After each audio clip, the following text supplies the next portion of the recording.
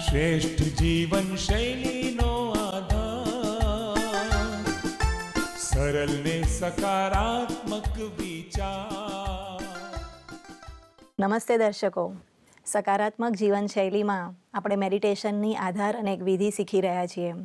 એ meditation વાસ્તવમાં શું છે અને એનો આધાર પણ આપણે જોયા. કે પરિચય, સંબંધ અને કંઈ પ્રાપ્તિ અને સ્નેહ અને પ્યાર હોય તો જ આપણે મેડિટેશનમાં આગળ વધી શકીએ છીએ. Ushaben welcome to the show. નમસ્તે. નમસ્તે. એ તો ખાલી એક મંદિરોમાં ગાવા સુધીનો સંબંધ રહ્યો કે તુમ માત પિતા હમ બાલક તેરે? કે ત્વમેવ માતાશ્ચ પિતા ત્વમેવ? પરંતુ પ્રેક્ટિકલ આપણા જીવનની અંદર આપણો એ રીતેનો નથી સંબંધ નથી એ સંબંધનો અહેસાસ. તો સિર્ફ ગાવાથી એ અહેસાસ નથી થતો નહીં ગાવાથી કોઈ દિવસે અહેસાસ નથી થતો એટલે આજે ભજનો ખૂબ ગાય છે મનુષ્ય પરંતુ અહેસાસ જ નથી એટલે ઘરે આવ્યા પછી જેવા હતા એવા ને એવા જ રાઈટ એટલે પરમાત્મા સાથે જ્યારે સંબંધ જ નથી તો પ્રેમ ક્યાંથી હોય બરોબર છે અને પ્રેમ ન હોય તો આપણે એના ધ્યાનમાં પોતાના મનને એકાગ્ર નથી કરી શકતા. આપણે ઈશ્વરની યાદમાં ખોવાતા નથી.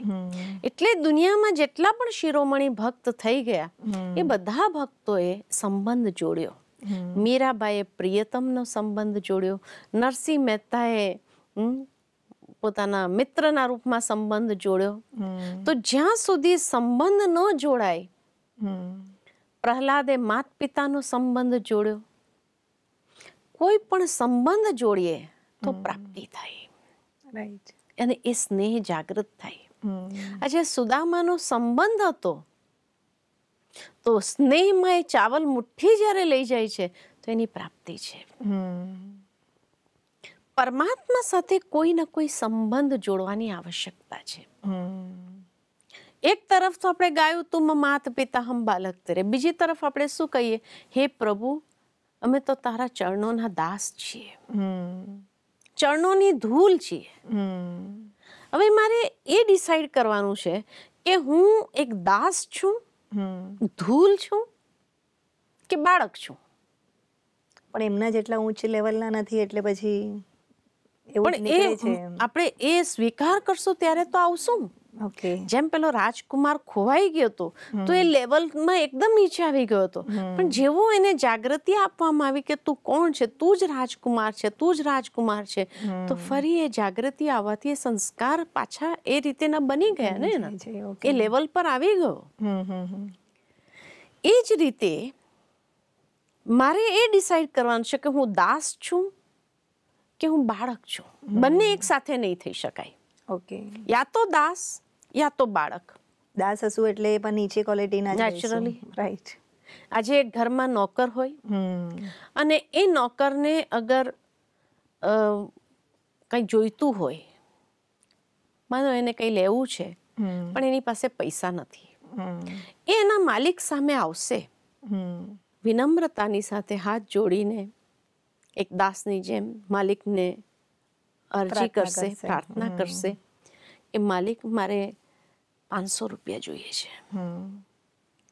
હવે માલિક સીધા પાંચસો રૂપિયા કાઢીને આપી દેશે ને? નહીં આપે. પૂછશે. શા માટે જોઈએ?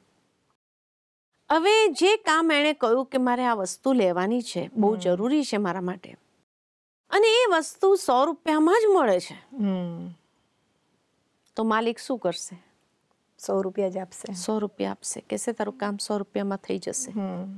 હે ને? પાંચસો રૂપિયાની જરૂરત જ નથી. રાઈટ તું સો રૂપિયા લઈ જા.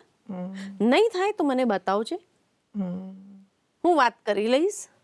રાઈટ અને તને મળી જશે સો રૂપિયામાં. માંગવાથી અડધા પણ નહીં. ઓછા. મળ્યા અને ત્યાં જ અગર બાળક આવે અને બાળક ડિમાન્ડ કરે કે મારે સો રૂપિયા જોઈએ છે એને પણ આપણે પૂછીશું સીધા નહીં આપીએ બરાબર? પછી એણે જે કારણ બતાવ્યું કે મારે આ લેવાનું છે મારું સ્કૂલમાં આ જરૂરી છે ને બધું થઈને સો રૂપિયા તો લાગશે જ મને. હમ. અને આપણી પાસે સો રૂપિયા છૂટતા નથી. હમ. પાંચસો રૂપિયાની નોટ છે શું કરશું? એને કહીશું વધારે રાખ તને કામ આવશે. રાઈટ એક્ઝેક્ટલી દાસ બનવાથી પાંચ ગણા ઓછા થઈ જાય છે. એક પાંચમો જ ભાગ મળે છે. આ અંતર છે. એક બાળક અને એક દાસની વચ્ચે. તો તમારો ખૂબ ખૂબ ધન્યવાદ. નમસ્તે શ્રેષ્ઠ જીવન શૈલીનો આધાર. સરળ ને સકારાત્મક વિચાર. સરળ ને સકારાત્મક વિચાર. સરળ ને સકારાત્મક વિચાર.